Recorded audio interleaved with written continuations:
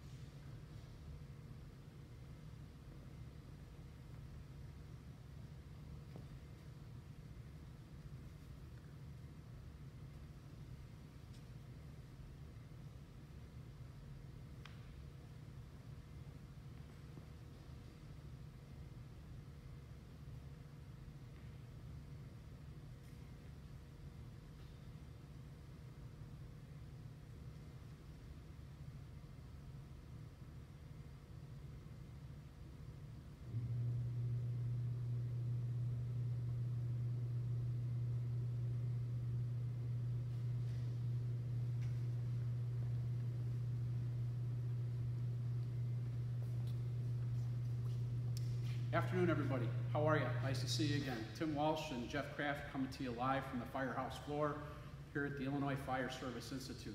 A couple of housekeeping items before I turn the floor over to Jeff. Remember, for uh, following along today's class, we have a handout already printed on the portal page. Uh, you can log in to uh, www.fsi.illinois.edu, click on the portal page, and you'll be able to find the handout for today's class so you can follow along. You can print those off or you can use your phone. Also, make sure you post in comments where you're watching from and any questions that you have, I'll be handling questions and working with Jeff to get that done. Also, we wanted to remind you that we'll be doing probably a live feed every week. Uh, next week, April 30th, we're going to be joined by uh, Chief Tom Schubert and Chief Ron Rains, who'll be doing Rural Command uh, from the Dirty Classroom. So we first we wanted to thank our sponsors, actually our vendors that work with us. Today we're going to be talking about tick cameras. So there are many tick cameras on the market. We have all of them here today. We have MSA, we have FLIR, we have Bullard, we have Seek, and we have Scott. So these are all the cameras that we use on the fireground when we're teaching class. And our partners are kind enough to be able to allow us to use them so that when you come down for a class, either as a firefighter or a company officer, you can utilize these cameras and make a decision when you go back home as to which camera you want to use. Like any tool on the fireground, a camera is only as good as its operator. Each have a little bit different tools that they can use and how you want to use them on the fireground, so you need to test them before you decide. And you probably need to create a committee to determine what you want to do. Some old guys, some young guys, some officers, and maybe even a chief if you're brave enough to get him or her on the committee with you. So without any further interpretation, I'm going to turn the day over to Jeff, and I'll be coming in and off screen. Please uh, post in the comments section, and we'll get going here. Thanks for being with us. Thanks, Timmy. And thank you for taking the opportunity to spend the next hour or so with us going over the thermal imaging cameras. We have video that we have posted on the portal that I'm probably going to refer to five or six times during this uh, lecture portion of it. So when this is all said and done, we expect you to go and look at that video use that for training and give the information to the firefighters that you work with. This thermal imaging class has been under uh, the last two or three years, we've been changing it a handful of times, and a lot of it came from students who gave information back to us on what it should be. When we first decided to update the information that's being delivered on the thermal imaging cameras, We turned it into a four-hour program. We gave an hour's worth of lecture and we gave three hours of hands-on. After delivering that four or five times, we got enough information back from the students that they wanted a lot more hands-on with the cameras. We took that information, we were able to make it into an eight-hour program. We then again delivered it another three or four times. We got more information back from the students saying we need more hands-on time. We then turned it into a 12-hour program. We put them in three to four different buildings in that nine to 10 hours that they're in the buildings and give them situations where they're rescuing civilians, rescuing firefighters, going into situations so they can understand the thermal layers in the buildings and how it's affecting the camera, what the colors mean on the camera, and how you're going to be able to dissect that information while you're doing this. If you're interested after you watch this next hour on going through one of those programs, we deliver this at Fire College. That'll be in October this year, so please take the time out and, and look at the programs that we're going to be delivering then. We do do it during Winter Fire School, and we also do it during the Explorers program. So there's many opportunities that you have to be able to experience the hands-on portion of this with the classroom. As you see in front of us, you would see a bunch of cameras that you're going to have the opportunity to use if you go through that program. What we want you to do is get your hands on every single camera that we have here, get an idea of how they work and what they do, but we also want you to spend as much time as possible with the camera you have at home. The sets and reps you're going to get with that camera is going to build confidence when you are at home using those cameras in your daily duties as a firefighter. Hopefully, it'll build that efficiency and you'll be able to take that opportunity to build off of that program and teach those younger firefighters how to use that the, the TIC camera. Okay, just to remind everybody, the handout is now in the comments section on the Facebook Live uh, feed that you're watching. You can click on that to follow along with uh, Jeff while he talks, and you can print those off later to use in uh, night training later, maybe later on tonight or later on in the week. So we wanted to make sure that you had that available to you. Sorry, Jeff, go ahead. No, that's great, Jimmy. Thank you. When you get home and you are looking at the camera that you have on the rig, we don't want you to be the guy that's capable of turning the camera on but really doesn't know how it works. Some of the cameras are very basic, and there's nothing wrong with that. The four or five hundred dollar cameras that you have the opportunity to use is, is honestly a good camera that we can use in the fire service. But there's more expensive cameras that have lots of bells and whistles on it. It's a piece of equipment that we really have to be professional about and be able to use all of those throughout uh, the ability of using the cameras. We need to be able to break down when and how to be able to use those to benefit us while we're working in the fire service. I wish I could tell you everything you needed to know about the camera that you're using at home. We don't have the time to do that because there's so many different ones out there.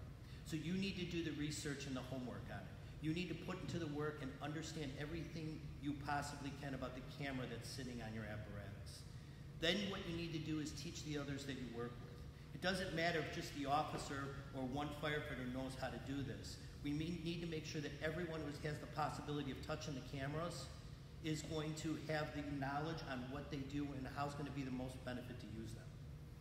A little history on that. We went to a larger department who was giving chief officers cameras for their apparatus. When we went there, it was the same cameras that the officers were using when they were lieutenants and captains. They were a little upset when we came in there. They said, What do I need the class for? I've been using this camera for the last five, ten years. When we got done with the program, they looked at us for a, good portion of them and said, Thank you. There's a lot of things that this camera does that I really never knew about that no one ever taught me. We also had to the other extreme. We went to a couple other departments. We uh, gave the class over a three day period. Over that three day period, on the third day, one of the members came back to us and said, Hey, we are one of those departments that really didn't take the camera off the rig. We had a fire last night. While we were at the fire, we were having a lot of issues finding the fire. One of the guys said, Why don't we go and grab the camera off the rig and try what they taught us in the class? They took the camera into the building. They said within two to three minutes, they were able to find where the fire was and put it out. So we can give you beneficial information that it can assist you and make firefighting a little bit easier and a little bit more helpful for you. Now let's talk about the type of people who are actually holding the cameras. Usually there's three types. There's the guy who has it on his gear or on his uh, air pack all the time, but really doesn't know how to use it and never lifts it up and actually looks at the camera. There's the guy, like I just told you about, for that one department. They don't even take it off the rig. It's a tool that they have that they're not really sure how to use and what's the most benefits, ways of using it. So they leave it on the rig because they're not comfortable with it. And then there's the few handful of people who got it. They understand what the camera is, how they're going to use it, and how it's going to benefit them in the fire service.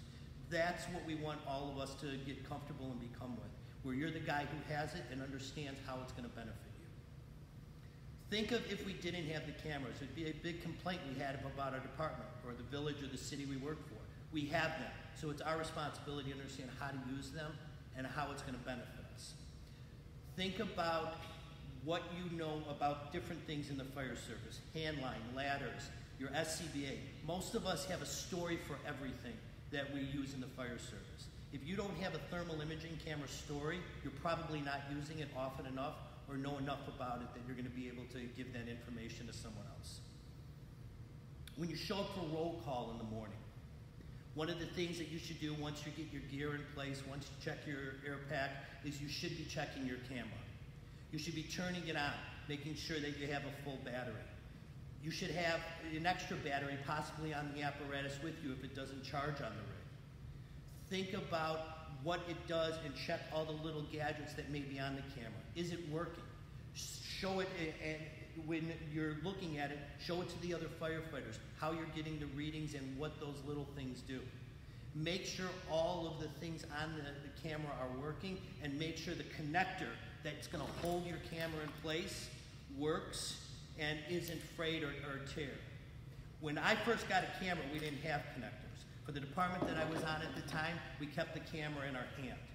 What that did as an officer was it made me pretty unproductive because one of my hands always had the camera. The last thing I wanted to do was put the camera down and lose it because it's an expensive thing to lose.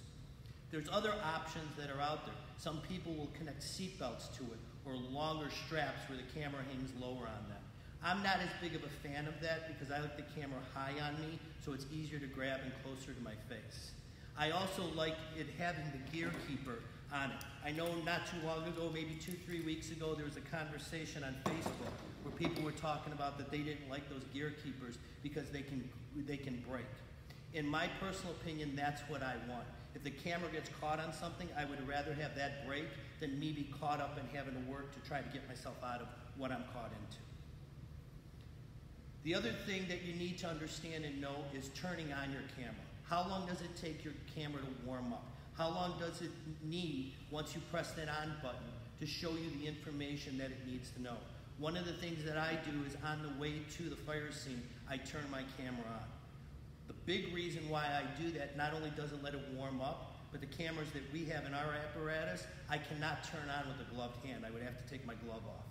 Me taking my glove off at the front of the building or as I'm walking up to the fire scene slows me down and takes away my attention from where it needs to be.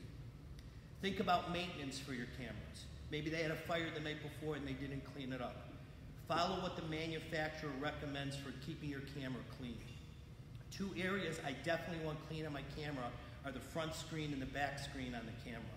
If I have those dirty or full of muck or drywall, it's going to prevent me from getting a clear image and possibly not be able to see the heat signatures that I need on that camera. It's not recommended that you submerge these cameras to clean them. So make sure you use a mild soap, uh, brush them off, clean them off, wipe them on down so they're nice and clean and ready to go to work for you. Let's talk a little bit about now how we're going to use the camera and what are going to be the best areas to use that camera.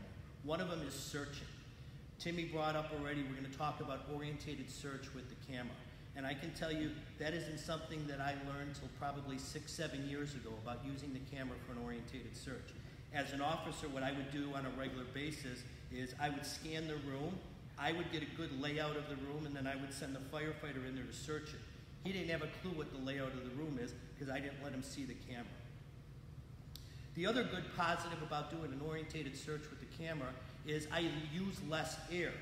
That's an important thing right now because by using less air, with the new standards for the SCBAs that are out there, instead of us having a quarter, we're up to a third, which means we have less time in the building. When you have lower manpower and less air, we've got to get the searches done quicker. When I enter the building, one of the things that I can do is I get a better visual of what's going on inside the structure. Things that can give me information while I'm in the building. If I scan the room and I see a wheelchair in the corner, that's going to give me a good suggestion that I probably have someone who's going to need assistance getting out of the building. They're probably still in the building if I didn't see them on the front lawn because their wheelchair is still inside the structure. Think of bunk beds. Sometimes bunk beds are missed when firefighters are doing that primary search because we didn't check above. If that firefighter knows going into that bedroom that there's bunk beds, he's going to do that search faster for that upper bunk and not miss that. Cribs can throw us off a little bit too. When you have a crib in the room, acknowledge it to the firefighters so they know because they need to pull that crib towards them so they can do the search a little bit easier. Hey, Jeff, a couple things that we wanted to talk about that you passed up, just uh, because there's a lot of things to talk about. This is an old school lanyard that some fire departments are using. Uh, Jeff talked about the breakaway lanyards that uh, fall off and break if you get caught up on something. This is okay in a pinch, but this is very strong material. This is paracord, and it will not break. So if you get tied up on this, you could have a problem inside the fire building. So we don't recommend that you use this. We keep this on this, different cameras, we switch them around so that we train like we really play.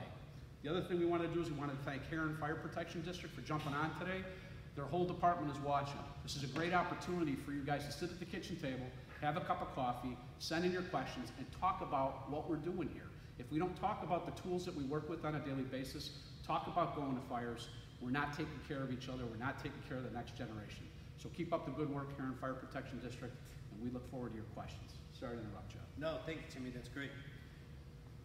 Again, when we're using our camera, we're trying to acknowledge what is going on in the building and what is happening. One of the great drills that you can take your firefighters out and do and show them heat signatures with your camera is go to any of your businesses that have a machine room.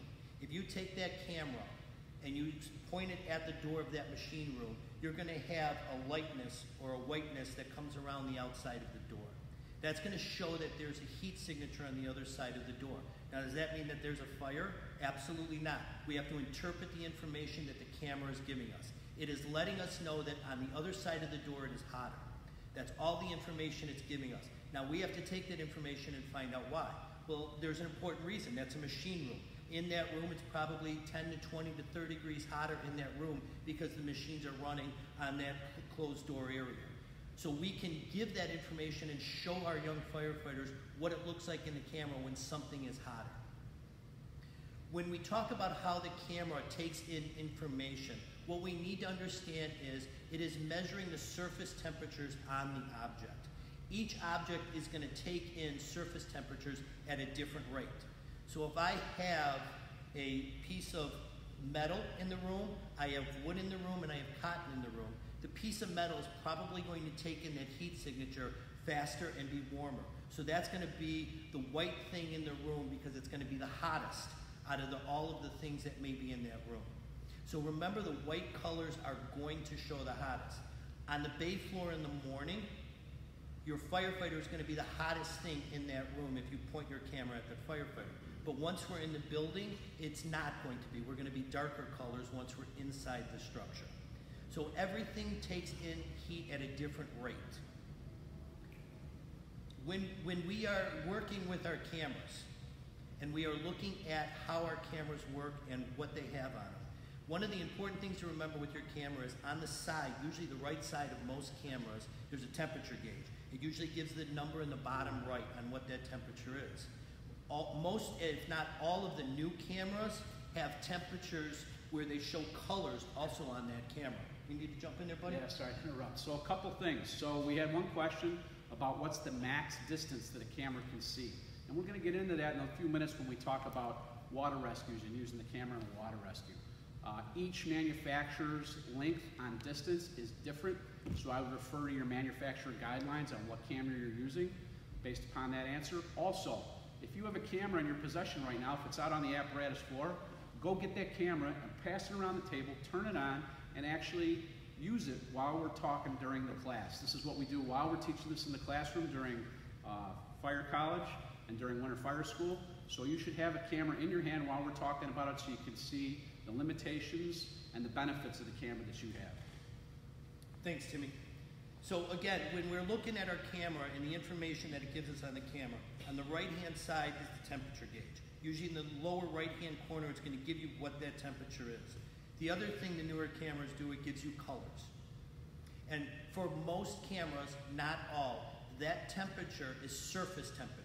So if you and I are crawling down a hallway, and I take that camera and I point it at the ceiling, and in that camera, in the visual that I see on my camera, I'm seeing the ceiling and two walls. It's going to average out the temperatures. So if the ceiling is 600 degrees, the walls are 400 degrees, I'm going to get a temperature of 500 degrees on the camera. Now, does that mean that's what the smoke temperature or the heat temperature is in, in that area? Absolutely not. That's what the color information is going to give me. So as I pointed at that ceiling, I now need to also look at the colors. And that, that colors is going to tell me what that smoke is or that flow above my head is. If I see yellows, which isn't uncommon, that's going to be around the 500 degree range. Oranges and reds is where I'm going to start getting worried. At 800 degrees, I'm going to start seeing oranges.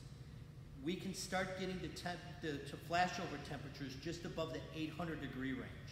So that's where I need to come up with a plan. What am I going to do to make it better? Is there a door I can close? Is there a way I'm going to be able to uh, cool down that area with the line that's with me? Or do I need to back out and come up with plan B on how we're going to get to that area that's on fire? Just like Jeff is saying, the camera is a tool, right? So we want to be able to have plan A, plan B, plan C when we're operating in the IDLH hazard.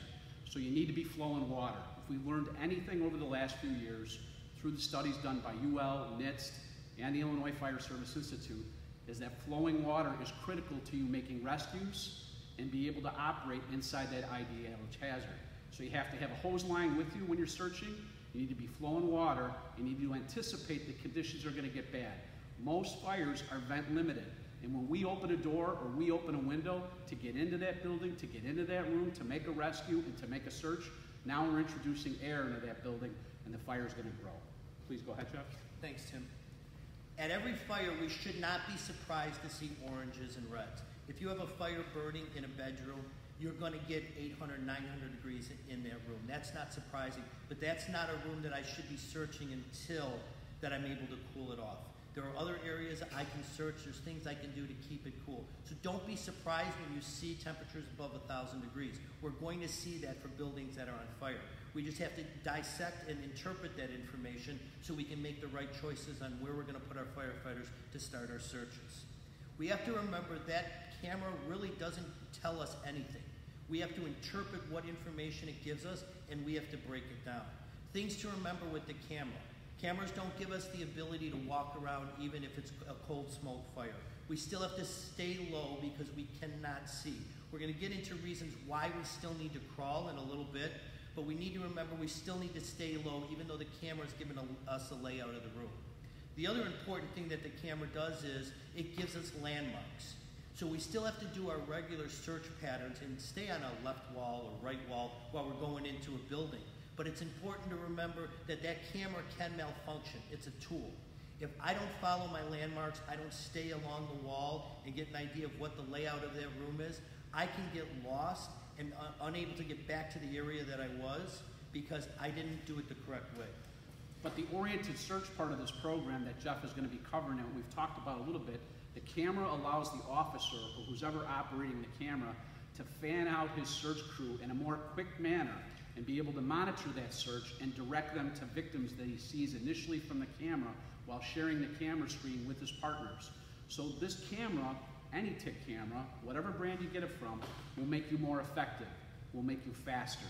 It will allow you to save lives. And that's why we all got into this business, was to make that grab, make that rescue.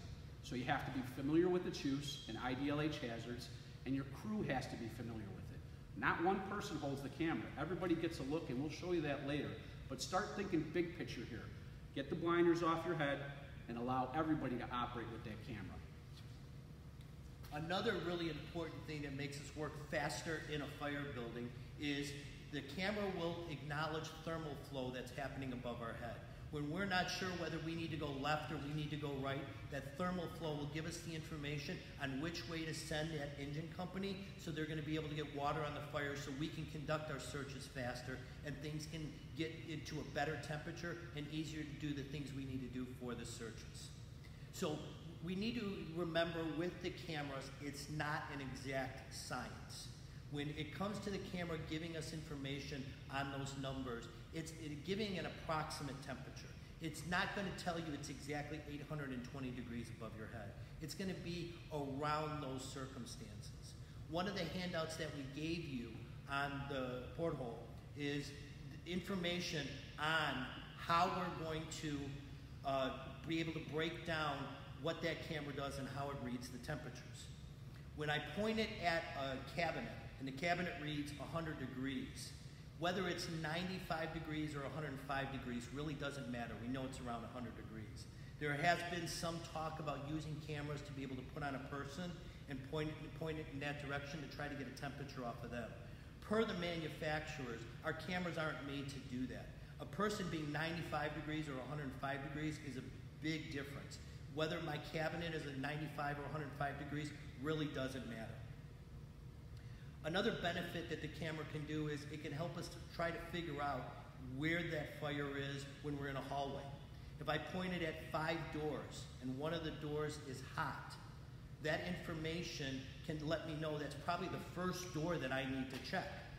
It's, it's an important thing to be able to go to the hottest area first, check and see if that's where the fire is before we go in, in further areas.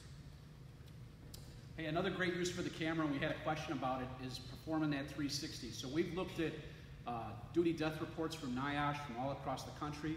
We should be looking at those and study how firefighters die in the line of duty so that we don't make those mistakes again. And the 360 is huge in almost every line of duty death report. That TIC camera, whichever one you're using, a FLIR, a Bullard, a Scott, an MSA, should be taken out of the rig upon your initial assignment. As soon as you get on the, on the fire ground, who's ever doing that 360, take that camera with you. Take a look at the building. It's going to show you more from the outside, and you'll be able to better direct companies that are working on the fire ground to go directly to the fire. It's a really great tool on the 360, and as Jeff was saying, it's a really great tool on the inside of the building, which you'll see in the video a little later. You'll see heat waves, you'll see radiation, and you'll be able to find the fire much quicker. The more you use the tool, the better you get at it. We're going to get into talking about the limitations that cameras have now. And that's one of the biggest things that I want you to look into and investigate with your cameras. All of these cameras do great work, and the companies that are giving us this information and delivering and giving us the classes on these cameras, they let us know all the awesome things that these cameras do. We then need to investigate, we need to figure out what are the limitations for the camera and what doesn't it do. One of the things that the UL and NIST did the studies on because firefighters were getting themselves in trouble was we were using that camera and we were entering that first floor and we were pointing it at the floor trying to see what temperatures were in the basement. We were getting eight, 80, 90 degrees at the floor. What was really happening in the basement when they did the studies is they were finding out you could have temperatures of 1200 degrees in the basement and only get an 80 or 90 reading on that first floor. It's no different in the attic or the cockloft area. That camera is not an x-ray machine. It's not going to see through things for us. So we have to make sure we open it up or check those areas before we commit ourselves. I don't belong on the first floor until I make sure I check that basement and make sure there's no fire below us before I commit myself or my company to that first floor. We talked a little bit about how the cameras turn on and off. I brought up for me one of the limitations that I have with my cameras. I cannot turn a camera on with a gloved hand. So I make sure that camera's turned on before that I get off the apparatus. We talked a little bit earlier about being in cold smoke while we're walking around. One of the firefighters that we talked to when we, when we did this class explained to us that he was in a warehouse. They had a cold smoke fire. He was in the back of the warehouse and he was walking on the dock area trying to look for heat signatures. This firefighter walked right off the loading dock area because the camera will not give depth perception. It will not tell you whether th- there is a difference in the levels of the floors. And the other big part about it is you need to remember holes and water puddles look exactly the same on the camera. When we show you the video later, you're going to see that water looks exactly like a hole on the floor. You can get false readings when you enter an area because of baseboard heat. So it can show you that those areas are hotter in that room even though you don't have fire. Again, we need to investigate. We can't assume that just because we're getting a heat signature that something is on fire. We can also use that in the opposite way though. Probably about a month and a half ago for me, we had a single story residence that we had fire, um, heavy smoke coming out. We uh, made a force entry for the front door. While we were making force entry for the front door, there was other companies working to get and gain access to the basement area. When I took that camera and I scanned that first floor, on the left-hand side, there was a section that looked hot. On the right-hand side, there was a section that looked hot. Those were the heating vents. That let me know before we committed to the first floor that there was heat in the basement. So we waited for that company to get into the basement, cool that area before we committed ourselves to the first floor. Now, did we have fire in, the walls? Did we have fire in the clock, cockloft area? Yes, it rode up those areas in there. But we didn't commit to that first floor because we knew we had fire in the basement. So we had a question from Keith Fallow about commercial buildings and operating the TIC camera in the, in the upper portions of a 14 to 20 foot ceiling. So if I'm using, let's say, the Bullard camera on this demonstration, and I'm entering a commercial structure, and Jeff's going to talk about this in a little while, there's different patterns that we can use. We can go high, medium, and low. We can use the Z pattern to get a good look. But in a commercial building, you want to be very cognizant of what is happening above your head. You want to use the camera to check to see if the fire is in the structural members. If the fire is in the structural members, most commercial buildings are lightweight constructed or they're steel bar joist truss. We know that's a no-go situation if we have a large volume of fire in a commercial building like that. So this tool, this camera, whichever one we use, maybe it's a FLIR, maybe it's a Scott, is a tool to be able to make those fire ground decisions in a commercial building on whether or not it's a no-go situation or it's defensive or it's offensive. So that's a great question, Keith. We appreciate it. Happy birthday, Keith, by the way. Um, so other things we need to remember about the cameras is we need to interpret the information that it's giving us. Again, the camera's not telling us anything that we can't try to figure out from that point. So when you see something that's warm, take that information, try and break it down, and find out why that area is hot. Doesn't always mean that there's a fire. We're going to go back to that cold smoke that we were talking about. If you're in something like a Home Depot or a Menards and you have a sprinkler head that's going off, and you take that camera and you point it at where that sprinkler head is going off, you need to remember that the camera will not see through the water. So you could have massive fire going on on the other side of it. Doesn't always mean you're going to be able to see what's happening. So I may need to go to the left or go to the right to be able to see what's going on around it. We talked about average temperatures. Again, this camera is not like a thermometer that you would use to take your kid's temperature. This camera is going to give you estimated temperatures that are going to be close to that reading. And for us, on what we're trying to get readings on, that's going to be okay. When we are looking at carpeting, wood floors, or roofing material, again, the camera's not an x-ray machine. It's not going to see through those areas. We're going to need to open them up, get an idea of what's going on on the other side of it to be able to assess whether we need to put fire, firefighters in that area or if it's a clear area. We need to think about with cameras, they will pick up reflective surfaces. For the Chicagoland area, one of the big things we still see in basements is paneling. What people do with paneling to make it look nice is they put pledge on it. What is pledge? Pledge is a wax that you're going to put on it. If you're in a basement, you can get a area that looks almost like a mirror that's showing that fire may be in front of you, even though it's to the side of you, because it's, it's actually getting a mirror image off of that paneling. Think of the plastic strips that are in a cold storage area. The strips that come down to keep the cool out and the, and the hot out. That area with those strips is not going to be able to be seen through with the camera. It's going to prevent you from knowing what's going on on the other side. So you're going to have to open those up to get a view of what's happening. Metal plate covers that you're going to have on your outlets. Again, you're going to get a mirror image off of that plate cover. It's not going to let you know. In the video, we show you a piece of plexiglass. And in that, we cover a firefighter up halfway on the bottom, then halfway on the top.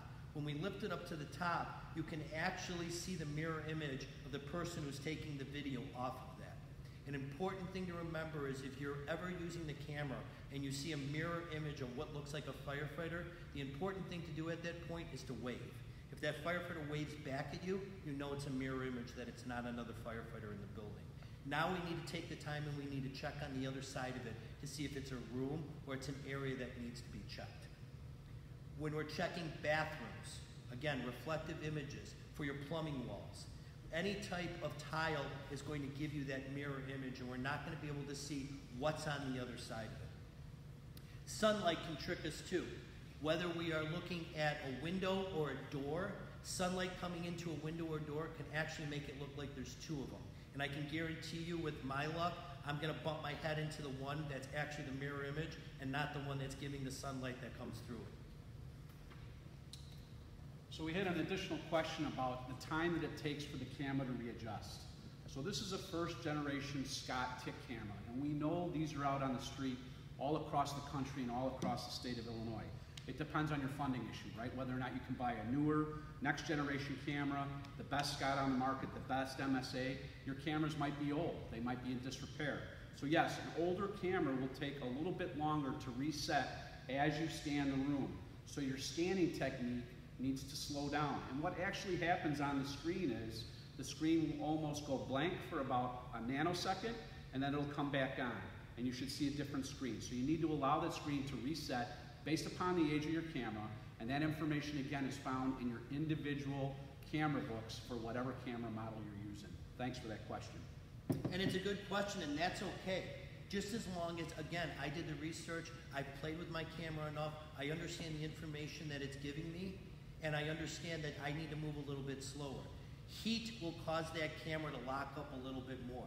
And if I'm paying attention to the screen and I see that that screen locks up or it, it doesn't allow that picture to keep moving, then I know I got to go back to the right or to the left a little bit and I need to slow down my scan and I need to recheck that area I may have locked up on. When we talk about the older cameras, uh, we used to have major issues with some, with some of those things. When you would get a whiteout on a screen, that camera would need time to reset before it was able to give you a decent picture. For the cameras that we carried uh, back before we got the ones that are on the apparatus now, for me, we had uh, cameras that the batteries would wear out in 15 minutes. It was very common for us officers to carry batteries in our pockets while we were working because 15 minutes into the fire, I may need to change the battery. If you know that, you can work around it.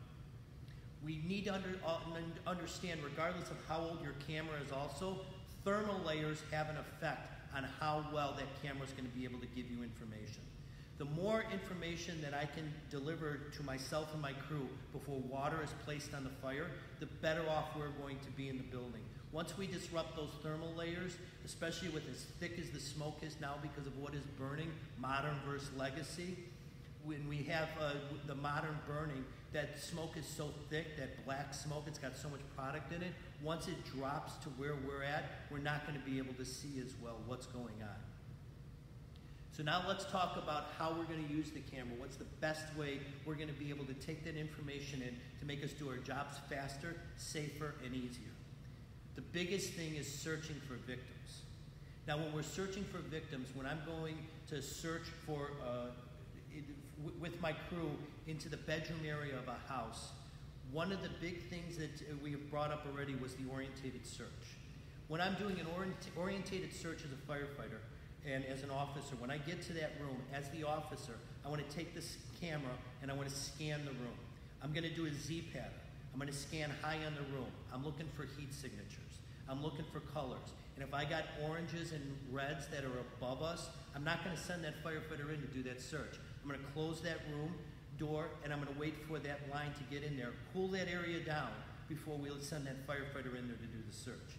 But if I scan the room and we have no oranges or reds above the head, I'm going to then go to the six foot level. What am I looking for at the six foot level? A basic layout of the room, and I'm also looking for other ways out, other doors. Maybe I, I see where the closet is with the room. I see where the window is across from the doorway that we're entering. Then I'm going to scan low.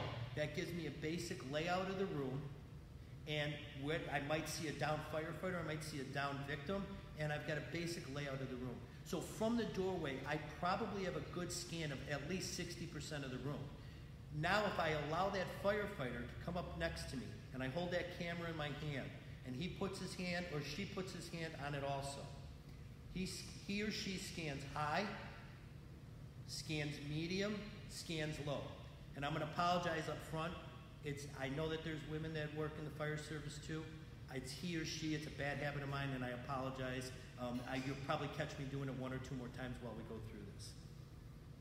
By me being able to have that firefighter come up next and scan the room with me, that firefighter knows it only needs to check about 40% of the room now. The closet, underneath the bed, the other side of the bed, maybe on the other side of the dresser. Again, we're saving air. We're not in the room as long as we need to be. One of the things that's talked about a lot too is do you take the tool in the room? There's different beliefs and philosophies on that. For your typical 8 by 10 bedroom, my personal belief is if I leave the tool by the door, I can search the room a little bit faster, and it also shows me the way out of that room, which door I came in.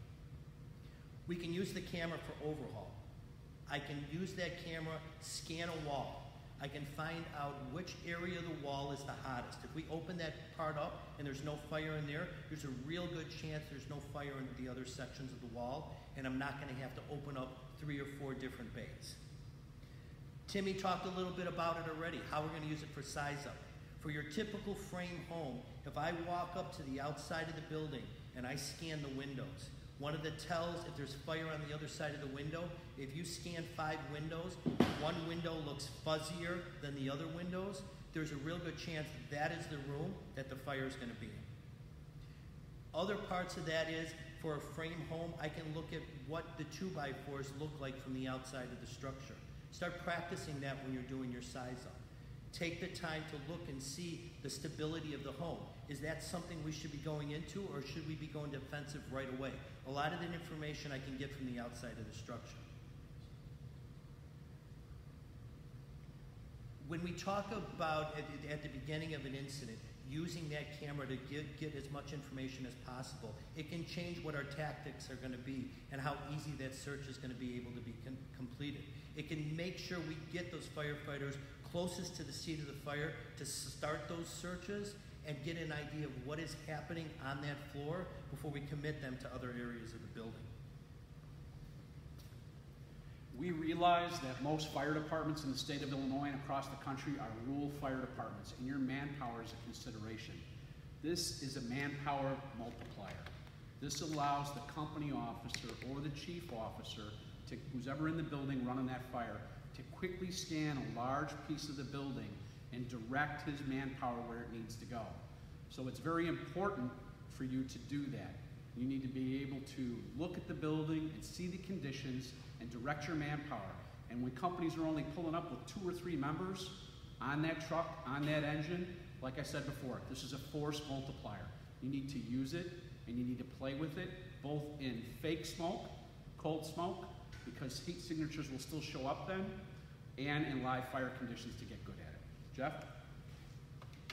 When Timmy talks about live fire conditions, one of the things that that camera can help us with is rollover.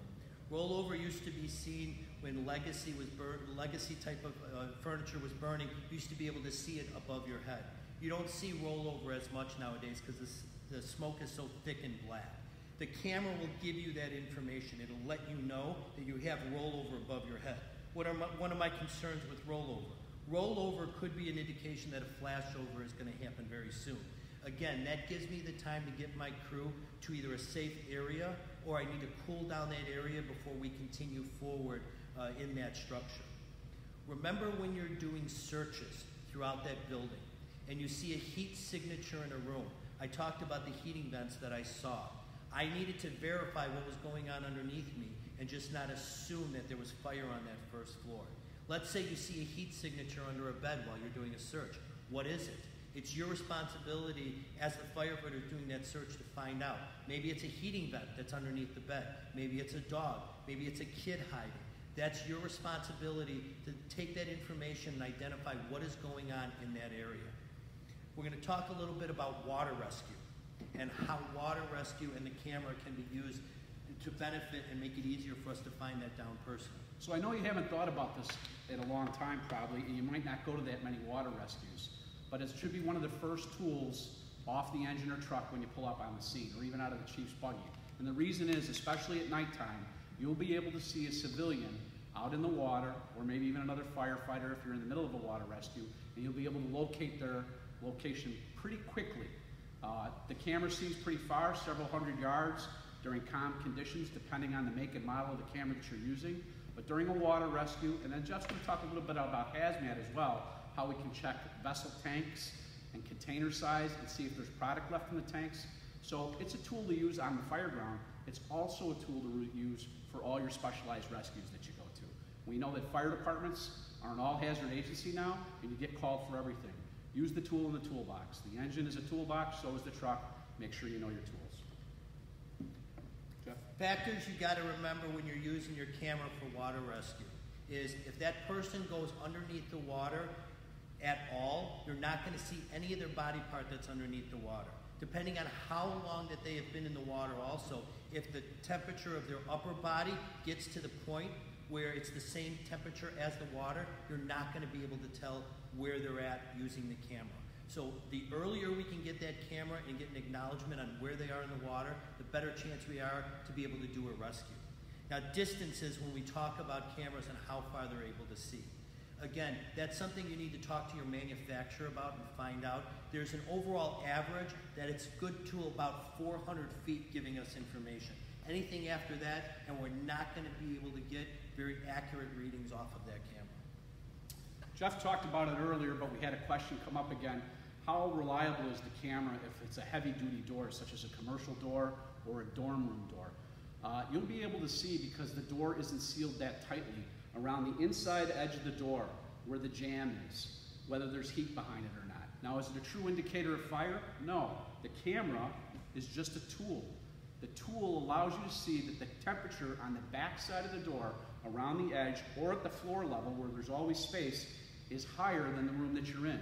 So is it always the answer that yes, there's a fire there? No, it's not. It could be a machine room, it could be an elevator room, it could be electrical heat from electrical arcing on an electrical cabinet, it could be a multitude of things. So it's not going to show you everything, but it will give you clues as to where you need to go. With that, you can also, for an exterior door, if it has a peephole, one of the things you can do if you are getting a heat signature on the other side of the door, pop that peephole out. Get an idea of a reading of what's happening on the other side of the door. If you have heavy smoke push out of that peephole or fire push out of the peephole, it's giving you information before you commit yourself to opening that door. It buys you the time to be able to get yourself and what you need in place before you decide to move on to that next thing. As an officer, when you're using the camera, let's take a situation. While you're in the building, think of how much easier things can be if you're using that camera in the proper way. I can get a layout of the floor and what's going to be the easiest way to get to maybe where that firefighter is. If they're up to a second floor or down a basement staircase, it'll be easier for me to find the staircase and get to where that down firefighter is. Once I get to that floor and I find where that down firefighter is, my responsibility as the RIT officer is to go past where that down firefighter. Now, from the area that I'm at, I can watch what my company's doing in the camera. I can give them directions while I'm giving a radio report and I'm out of the way. Once they're ready to leave and they've packaged that firefighter up and he's ready to go, I can then move around where those firefighters are working and I can lead them out with the camera paying attention to where we're going and how those firefighters are moving and pay attention and keep track of, of my car on which firefighters are with me and how we're going to be able to get out of the building. Let's talk a little bit about hazmat and containers. For containers to work and for containers to be able to, to be used where I'm taking a camera and I'm trying to decide how much is in those containers, it needs to be a liquid or a solid. And the reason why that is, I need a vapor space inside that container to be able to tell me how much is in there. We want different temperatures. So the temperature of that vapor space is going to be a little bit different than what the product is inside that container. We need to understand though, if that container is isolated, if there's two or three layers, I'm probably not going to be able to get a reading of it. So that could give me information right there telling me I got to come up with another way and another plan. Again, the limitations of the camera, what does and what doesn't work. When we think of railroad cars, railroad cars could be broken into three sections. By using that camera from a distance, I may be able to tell which part of that railroad car actually has product in it and how much product is in that, that um, container. When we are talking about mistakes that happen with the camera, sometimes we get a little cocky while we're moving with the camera. We go for a straight shot instead of staying on the wall, like I talked about a little bit. Make sure you're keeping your landmarks and someone staying on the wall, so in case the camera stops working, we still can find our way out of that structure. One of the bad habits that firefighters do with the camera is we pay attention to what's going on in front of us, we don't look up enough. I need to know what's happening above our heads to be able to keep us safe. And if I see those orange and reds and I don't have a way to pull it down, I need to come up with a plan on how I'm going to get us out of that area or at least shelter us by shutting doors to prevent that fire from getting to flashover temperatures. I have to be able to confirm what I'm seeing. Now we have to remember for downed civilians, depending on how long they're in the building, I should be able to make them out with the camera. But if you have a civilian whose temperatures reach the same temperature as everything else in the room, you're not going to be able to break down and be able to dissect where they're at in the room because everything's the same temperature. We need to remember that because of the thermal layers, we need to stay low. We need to stay below where those hot signatures are, and we need to keep our firefighters safe as we're moving forward. Now, when you watch the video, I want you to pay attention to what it looks like when there's water on the ground, what that puddle looks like. Because a hole in the floor can look exactly the same. You could be working in an area that has multiple puddles because water has been used in that area, and you could walk right into a hole because you're not crawling. We need to stay low and we need to make sure we don't put ourselves in a situation, whether it's cold smoke or not, where we're going to have the ability to fall through a hole. So we wanted to say thanks to the firefighters in the Netherlands that are watching this program as we go live, and then we wanted to answer another question. During an automobile accident, and I think it's coming up in Jeff's PowerPoint here, you can use that TIC camera to survey the area to check for any occupants that have been ejected from the automobile. Now you can do this just by standing on top of your engine or your tanker if you don't have an aerial device, but if you're in an area where you can get a ladder truck up, and overview the whole area, not only will it show you if someone's been ejected, it will show you heat signatures inside the automobile or heat signatures on the motorcycle so you can determine how many people that you're looking for to make sure you can clear the scene appropriately and not have to come back. And that we show in the video, while the firefighter is actually doing a search in the house, the firefighter puts their hands on a couple of the pieces of furniture and we show you what that heat signature looks like. Now, the longer you've been in this, this seat, depending on what the temperatures are in the area, it could leave a bigger heat signature and be there for an extended period of time. So, like Timmy said, when you're showing up at auto accidents, if I find one person in the car and I have three heat signatures, I need to spend the time looking in that area. Maybe they're off in the field, maybe they left the scene, but I need to pay attention to that. Some of the cameras that are out there have thermal throttles on them. We're not going to spend a ton of time talking about thermal th throttles, but what I want you to remember is a thermal throttle is only used for overhaul and investigating things like ballast. You're not going to use the thermal throttle on your camera while actual firefighting is going on. That is a dangerous thing to do. The easiest way to remember how to use thermal throttle is while you're doing overhaul. If I take that camera and I point it at a firefighter that's standing near me, and I make him the bluest thing in the room. I then go back and scan the wall. It's going to look for the hottest things in the room. If you need to come out of that thermal throttle for any reason, the easiest way to do it, especially with gloved hands, is usually to turn the camera off, turn it back on, and it resets itself. So we're going to go over some basic tips that I kind of want you to remember before we end, this portion of the classroom. When you have to wipe your mask inside the structure, remember to wipe both uh, sides of the camera. It's telling you that you're getting fogged up in your mask. Your camera's probably getting fogged up too. So we need to wipe the front and back so we make sure we're getting a good heat signature. While we were doing the videos for this class, one of the cameras fogged up real good on the outside of it, and we weren't getting any of the colors, just the heat signature of, of the temperature gauge on the side. We were getting no colors on the camera until we wiped it off. Remember for your roll call, when you're talking about tips and ways you're going to be using the camera, make sure your firefighters understand the operations and the functions of how your camera works.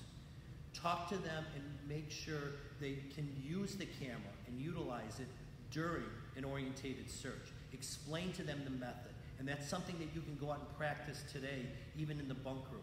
Go over how you're going to do an orientated search with the. Talk to them about what advantages a camera can have for you while you're using it at a fire scene, at a hazmat, at an auto accident. Think of other ways you can use that camera to benefit you and make your life easier. Make sure they understand limitations of the camera. That's what's going to get us in trouble. Not the good things the camera does, the things the camera won't give us information on. And it's about sets and reps. Make sure you're getting practice. Make sure you're going over those things on a regular basis because it is perishable. If you don't practice this, if you don't talk about it, if you don't discuss it, you're not going to be very good at it. I hope the information that we delivered to you today was helpful. Timmy's going to talk to you about the video that we're going to show in a little bit. If you're interested in finding out and getting the opportunity to work with the camera in a bunch of different buildings in a bunch of different settings, make sure you come to Fire College in October or think about Winter Fire School. We, you have an opportunity to get a ton of sets and reps with the cameras that you use at home. Timmy? Hey, a couple few things before we tidy up for the day, guys and girls. The video that we're going to show you this afternoon replicates fire training using the oriented search the TIC camera as a tool. It's not a fire uh, suppression video. The speed of the video is slowed down for teaching purposes, and we purposely allowed some blank airspace in there so that you can teach and talk in your own department about the way that you want to use that camera. Uh, we also had one question about how can I train with my camera now with what's going on with COVID-19? That's easy. Jeff just talked about it a little bit. Put your SCBA on, put your face piece on, take your hood up in the bunk room, black out your face piece, put your officer, who's ever going to run that camera, out there with the camera and have him or her run an oriented search in your bunk room. Hide a hammer in there, hide a sledgehammer, hide a fire tool, anything that you have in the firehouse, a piece of cake if that's what gets it done. Whatever you guys can do to find, and then if you find the piece of cake, you get to eat it. There's all kinds of training that you can do in the firehouse during the COVID-19 response. Please refer back to our COVID-19 videos, six of them that will help you uh, provide better service to you and your citizens in your local locality. Also, we posted on our portal page public assistance documents. Make sure that your chief officers see those and work with their city managers and their county emergency managers so that you can get reimbursed for what you're doing. Make sure you post any questions on this website at FSI-COVID-19 questions at illinois.edu. And then make sure you join me, Ronnie Rains, and Chief Tom Schubert for Rural Fire Command on April 30th. We'll be coming live from the Dirty Classroom, and that's a class that I'm going to be sitting in because I have no experience in Rural. So we look forward to seeing you again. Thanks for joining us on the forum, and the videos